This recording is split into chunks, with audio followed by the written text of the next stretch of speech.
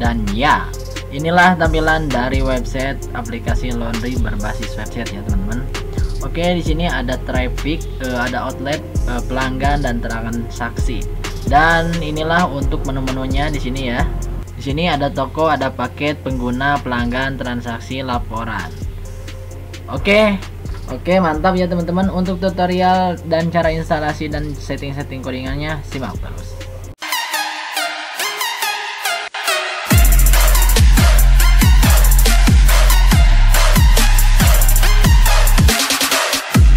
Yups, dan di pertemuan kali ini saya akan membahas tentang aplikasi laundry ya. Oke, tepat banget di pertemuan kali ini kita akan membahas tentang hal itu. Oke, teman-teman, dan di depan mata kita di sini saya sudah siapkan untuk file codingannya. Silahkan nanti teman-teman download terlebih dahulu ya. Dan jika teman-teman nanti sudah di-download, silahkan teman-teman simpan di mana teman-teman menginstalkan examnya. Ya, biasanya di lokal C, silahkan nanti teman-teman masuk ke lokal C Oke, dan silahkan nanti teman-teman masuk ke folder exam dan selanjutnya teman-teman silahkan masuk ke folder ht.cs ya. Di sini silahkan teman-teman masuk saja ke sini dan nanti silahkan teman-teman simpan di sini. Di sini saya kasih nama dengan nama aplikasi laundry ya. Oke, untuk tahap step ini saya rasa teman-teman sudah paham. Oke, next kita akan lanjutkan teman-teman. Oke, di sini kita akan masuk ke codingannya dan inilah untuk tampilan codingannya dan untuk databasenya juga sudah saya satu folderkan di sini ya teman-teman dalam folder aplikasi laundry. Nanti untuk mempermudah teman-teman dengan nama laundry.sql oke untuk cara setting-setting dan instalasinya silahkan teman-teman perhatikan karena di sini masih banyak yang error ya teman-teman. Dan perlu kita kembangkan lagi cuma di sini sudah saya rapihkan ya teman-teman. Dan aplikasi ini sudah jadi ya seperti itu kira-kira. Oke teman-teman langsung saja kita akan masuk di sini. Ada beberapa folder. Dalam folder aplikasi laundry sini ada folder admin. Nah ini. Oke teman-teman ini folder admin nantinya untuk si uh, home admin ya teman-teman. Jadi nanti ketika masuk jadi si folder admin ini yaitu nanti e, untuk masuk ke dashboard adminnya seperti itu ya teman-teman. Di sini masih banyak file-file teman-teman. Nah, di dalam folder ad, uh, admin sini ada banyak file juga ya.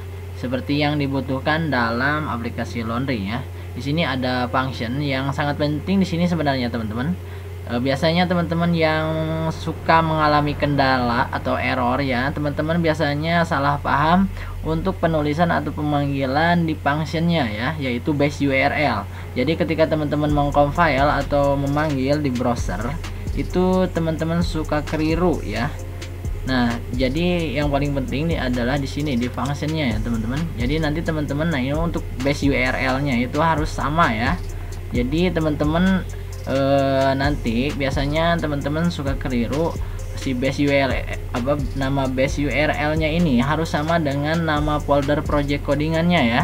Jadi nanti biar ya ketika kita panggil sesuai dengan apa yang diharapkan itu kira-kira. Oke okay, next teman-teman langsung saja. Sini kita akan masuk. Ada sini ada folder aset. Ya sebenarnya ini bawaannya ya. Langsung saja di sini kita akan masuk ke folder kasir. Oke okay, di folder kasir di sini ada beberapa function atau bukan function atau beberapa file ya yang nantinya akan berfungsi di uh, apa namanya di menu kasir ya. Oke, di sini ada beberapa file, ada function juga. Jadi ini untuk pemanggilannya nantinya. Dan ada file laporan. Nah, ini untuk nantinya uh, di menu laporan terus ada layout ya. Terus juga sini ada logout nanti untuk logoutnya dari si admin atau si dashboard adminnya seperti itu kira-kira. Oke, di sini juga masih banyak teman-teman ya. Di sini ada pelanggan, transaksi dan pengguna. Oke, next. Kita akan masuk ke file cek login ya, teman-teman. Oke, di sini ini adalah file cek login. Nah, di sini juga sangat penting sekali. Jadi nanti teman-teman harus perhatikan di sini ya karena ini codingannya sebenarnya sudah hampir full beres atau bisa dikatakan sudah 100% beres sudah jadi aplikasi jadi sudah jadi sistem. Tapi nanti teman-teman biasanya ada keliru dalam e, pembuatan nama database ataupun nama folder project codingan seperti itu dan nama apa namanya e, pembuatan password seperti itu ya. Jadi teman-teman perhatikan di sini yaitu di cek login di file cek login Nah, di sini untuk connectionnya silahkan nanti teman-teman uh, samakan seperti ini. Jika nanti filenya tidak sama, silahkan teman-teman samakan seperti ini. Di sini localhost dan untuk rootnya di ini sini ya. Ini root jadi nanti dikosongkan saja dan untuk name-nya juga dikosongkan. Terus untuk di sini uh, ke bawahnya itu uh, database-nya ya atau DB-nya DB name-nya itu kita kasih dengan nama laundry. Nah, si nama DB name ini nanti harus sama ketika teman-teman membuat Oke, nah ini DB name ini jadi nanti teman-teman harus sama ketika teman-teman membuat nama database di lokal ya atau kita katakan di XAMPP ya seperti itu. Jadi nanti teman-teman harus jadi catatan ini harus sama ya. Kalau tidak sama nanti teman-teman akan keliru ketika pemanggilan. Jadi ketika kita memanggil ini uh, si DB name ini tidak akan terpanggil atau databasenya tidak akan terpanggil seperti itu ya. Yang pada akhirnya nanti akan terjadilah error. Oke kita akan bermain-main lagi ke bawah. Di sini di sini ada username password query dan uh, ya data di sini ya. Nah, untuk username-nya silahkan nanti teman-teman depawelkan saja seperti ini ya. Di sini untuk dollar dan post Nah, ini menggunakan username dan untuk passwordnya kita menggunakan MD5 di sini ya. Menginscriptnya nanti kita menggunakan MD5 seperti itu. Jika teman-teman ada yang rubah di sini nanti silahkan teman-teman samakan ya. Nah, seperti ini. Ini kita biar uh, biarkan saja uh, depaulkan seperti ini ya. Oke, teman-teman next langsung saja kita akan menuju ke langkah selanjutnya. Mungkin itu saja yang paling penting ya karena di sini untuk codingannya sebenarnya sudah beres tapi hal yang paling penting di sana ya teman-teman. Di mana yang telah tadi saya jelaskan. Pertama di function kedua di dbname yang ketiga di uh, database. dbname masih sama ya teman-teman sorry.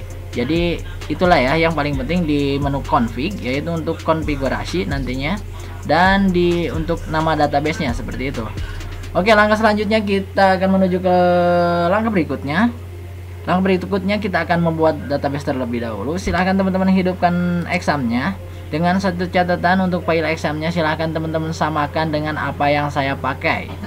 Di sini saya menggunakan versi examnya yaitu P3.2.4 atau menggunakan XAMPP yang terbaru yang support PHP 7 ya seperti itu. Silahkan nanti teman-teman hidupkan saja Apache dan MySQL nya sehingga berwarna kehijau-hijauan. Untuk file Jila dan Tomcat teman-teman tidak usah dihidupkan. Oke next langkah selanjutnya. Kita akan langsung saja membuat database nya teman-teman. Oke, pertama-tama silahkan nanti teman-teman masuk dulu ke browser. Untuk browsernya bebas yang menggunakan browser apa pun itu.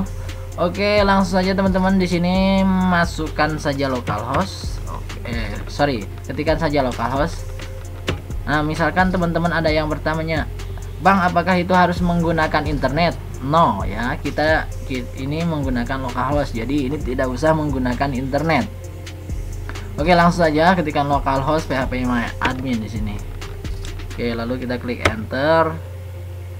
Tunggu hingga prosesnya terbuka nanti kita akan dibawa ke halaman php my admin Oke mantap ya. Kita sudah masuk ke PHP My Admin dan kita sudah dibawa ke halamannya. Nah kira-kira untuk halamannya seperti ini. Dan langkah selanjutnya di sini kita akan membuat database baru. Kita klik baru saja di sini ya. Kita akan membuat database baru. Nah apa yang tadi saya sampaikan di file codingan jadi di sinilah yang paling penting. Untuk nama databasenya itu kita harus sama dengan apa yang ada di file codingan yang tadi atau di file config ya. Oke, teman-teman kita masuk lagi ke codingannya. Nah, ini. Nah, ini yaitu laundry ya. Di sini saya kasih nama dengan nama laundry ya. Ini untuk databasenya. Untuk mempermudah kita rename saja ya biar tidak keliru. Oke, kita kembali lagi dan silahkan pastikan saja atau tidak dipastikan silahkan teman-teman samakan yaitu laundry ya untuk nama databasenya dan langkah selanjutnya teman-teman silahkan tinggal klik buat saja dan setelah itu teman-teman tinggal impor Nah, langkah selanjutnya teman-teman tinggal close file di mana teman-teman menyimpan si folder codingannya yang ini ya. Nah, ini. Biasanya yang tadi saya sudah katakan biasanya didepowerkan yaitu di lokal C terus masuk ke folder exam. Nah, sini ya teman-teman. Nah, di lokal C lalu masuk ke folder exam. Nah, ini masuk ke folder exam lalu masuk ke folder htdoc nah di sinilah teman-teman tinggal cari nanti uh, folder codingannya yang tema yang telah teman-teman simpan di sini. Lalu teman-teman cari databasenya. Oke paham ya untuk step sampai sini. Next. Setelah teman-teman nanti menginstal atau mengimpor si databasenya tunggu proses penginstalasian database sampai bersih sampai selesai dan jika nanti teman-teman dirasa sudah beres ya untuk membuat databasenya, langkah selanjutnya kita akan mencoba mengcompile si folder project codingannya ya teman-teman. Dengan cara apa? Dengan cara kita masuk lagi ke browser dan langkah selanjutnya silahkan nanti teman-teman di sini new tab saja ya. Dan ya, nanti uh, untuk cara memanggilnya seperti apa oke teman-teman mungkin saya tidak akan dibahas di part 1 ya mungkin saya akan jadikan beberapa session karena mungkin ini akan agak terlalu panjang untuk videonya. Nanti saya akan bahas di part 2 ya teman-teman. Oke nanti silahkan teman-teman saksikan saja di part 2 kita akan bahas bagaimana cara mengkompilasi folder codingannya. Dan saya akan bahas fitur-fitur apa saja yang ada di dalam aplikasi laundry ini ya. Oke teman-teman, bagi teman-teman semua yang baru berkunjung di channel ini, silahkan teman-teman semua klik tombol subscribe di bawah. Dan jangan lupa bunyikan loncengnya, karena lonceng itu bahagia kami dan bahagia teman-teman agar teman-teman semua tidak ketinggalan informasi terbaru dari channel ini. Oke, dan jangan lupa like, share, komen juga bagikan ke teman-teman yang lainnya agar apa yang kita tahu orang lain pun tahu. Jika ada salah-salah kata saya mohon maaf dan silahkan teman-teman ambil yang positifnya, buang yang negatifnya. Sampai jumpa di video berikutnya.